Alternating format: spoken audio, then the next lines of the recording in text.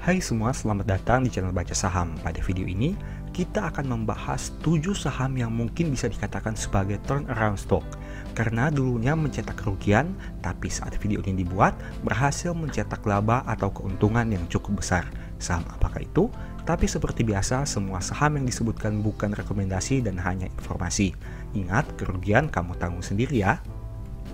Saham pertama adalah ARI. Teman-teman bisa lihat bahwa pada tahun 2022 saham ini mencetak laba, di mana pada tahun 2021 mereka masih menghasilkan kerugian. Hingga video ini dibuat, net profitnya sekitar 412 miliar rupiah. Sayangnya mereka tidak membagi dividen setidaknya saat video ini dibuat. Pernya hanya 1,7 kali dengan PBV 0,8 kali. Berarti harga yang dijual ini masih lebih murah dari modalnya. Untuk rasio keuangan, NPM 16% dengan ROE 49%. Angka yang bisa dikatakan sangat baik. Tapi, mereka punya rasio DER yang tinggi di mana total hutang 400% lebih tinggi daripada modalnya. Berikutnya kita lihat, ARI ini bergerak di sektor energi dan listing sejak tahun 2011. Jumlah saham di masyarakat ada sekitar 45% dan dalam lima tahun terakhir masih turun 62%. Saham kedua adalah GDST, di mana pada tahun 2022 berhasil membukukan IPS sekitar 31 jika disetahunkan, dan pada tahun 2021 masih mengalami kerugian minus 7. Hingga video ini dibuat, net profitnya sekitar 217 miliar rupiah. Saham ini juga tidak membagi dividen, pernya 4,8 kali dengan PBV 1,3 kali. Yang berarti harga di pasar lebih mahal dari modalnya. Untuk rasio NPM 11% dengan ROE 28%, angka yang bisa dikatakan cukup baik. Dan mereka juga punya DER yang tinggi di mana total hutangnya lebih besar dari modalnya dengan jumlah 106%. Saham ini bergerak di bidang basic material dan listing sejak tahun 2009. Jumlah kepemilikan di masyarakat hanya 3% saja, angka yang sangat kecil. Dan dalam lima tahun terakhir, saham ini sudah naik 63%. Saham ketiga adalah HITS di mana pada tahun 2022 jika disetahunkan IPS-nya berjumlah 19 dan itu tentu lebih baik dibandingkan tahun 2021 yang masih minus 28 Hingga video ini dibuat, net profitnya sekitar 103 miliar rupiah. Mereka juga tidak membagi dividen, pernya 17 kali dengan PBV 3,1 kali. Dari aspek valuasi, saham ini sudah cukup mahal. Untuk rasio keuangan, NPM 8% dengan ROE 17%.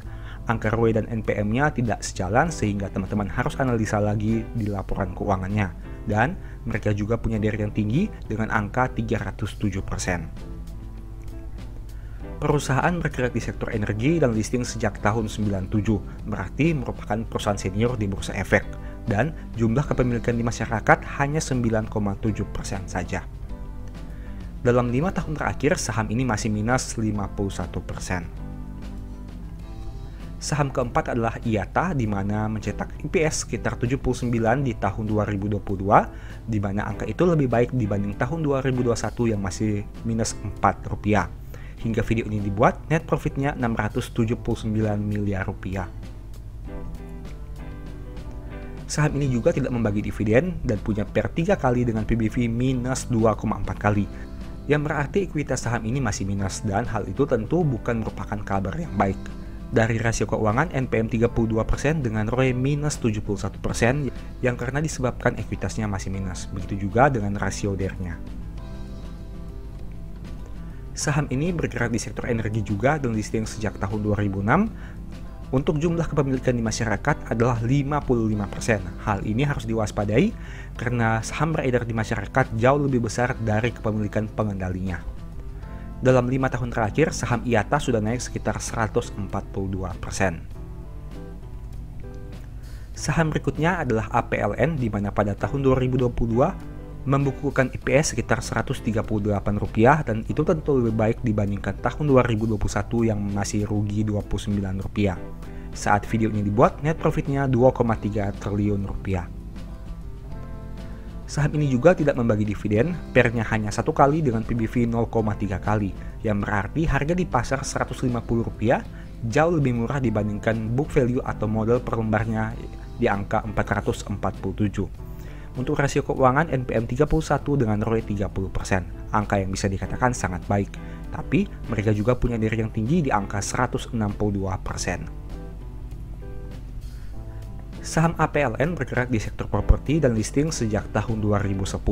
Jumlah kepemilikan di masyarakat adalah 11,4%. Dan dalam lima tahun terakhir masih mengalami penurunan harga saham sekitar 46%. Saham berikutnya adalah Friend di mana berhasil mencetak IPS Rp7 di tahun 2022 yang tentunya lebih baik dibandingkan tahun 2021 dengan jumlah minus Rp1. Saat video ini dibuat, net profitnya sekitar 1,6 triliun rupiah. Friend juga tidak membagi dividen saat video ini dibuat dan punya PER 10 kali dengan PBV 1,6 kali yang berarti harga di pasar lebih mahal dari modalnya. Untuk rasio keuangan NPM 19% dengan ROE 15%, angka yang bisa dikatakan cukup baik. Tapi mereka juga punya DER yang tinggi di angka 217%. Saham ini bergerak di sektor infrastruktur dan listing sejak tahun 2006. Jumlah kepemilikan di masyarakat sekitar 38,5 persen. Dalam lima tahun terakhir, harga sahamnya sudah naik 38 persen. Saham berikutnya adalah GTBO, di mana mencetak IPS sekitar Rp25 di tahun 2022, yang tentunya hal itu lebih baik dibandingkan tahun 2021. Saat video ini dibuat, net profitnya sekitar 46,6 miliar rupiah. Saham ini juga tidak membagi dividen dan punya valuasi per 8,5 kali dengan PBV 0,79 kali, yang berarti harga saham 212 ini lebih murah dari modal per lembarnya sekitar 269. Rasio keuangan NPM 9% dengan ROE 9% juga, angka yang tidak terlalu memuaskan. Tapi menariknya, perusahaan ini punya DER yang rendah di angka 36% saja. Perusahaan bergerak di sektor energi dan listing sejak tahun 2009. Jumlah kepemilikan di masyarakat ada 73%. Hal ini tentu harus diwaspadai karena jumlah kepemilikan di masyarakat jauh lebih besar dari pemegang mayoritasnya. Dalam lima tahun terakhir, saham GTBO sudah turun 18%. Nah, menurut teman-teman bagaimana? Dari tujuh saham turnaround yang tadi kita bahas, yang dulunya rugi dan kini berhasil mencetak laba, apakah ada yang menarik? Tentu teman-teman harus mempertimbangkan banyak aspek selain hanya laba rugi saja, seperti jumlah hutang, dividen, valuasi, kinerja harga saham, dan lain sebagainya. Untuk itu, teman-teman harus analisa lebih lanjut sebelum mengambil keputusan. Karena ingat, kerugian teman-teman yang tanggung sendiri ya. Nah, sebagai informasi, apabila teman-teman tertarik belajar analisa fundamental dengan lebih detail, bagaimana cara membaca laporan keuangan, bagaimana cara membaca rasio keuangan, money management, dan lain sebagainya, mungkin ebook The Stock Market ini bisa membantu. Di sini banyak pembahasan tentang cara analisa fundamental secara keseluruhan dan juga money management dalam membeli saham. Untuk detail selengkapnya, teman-teman bisa baca pada tampilan berikut ini. Nah, apabila tertarik melakukan pembelian ebook baca saham, silahkan chat WA saja ke nomor yang tercantum ini ya. Oke, sekian video ini, semoga bermanfaat. Thank you.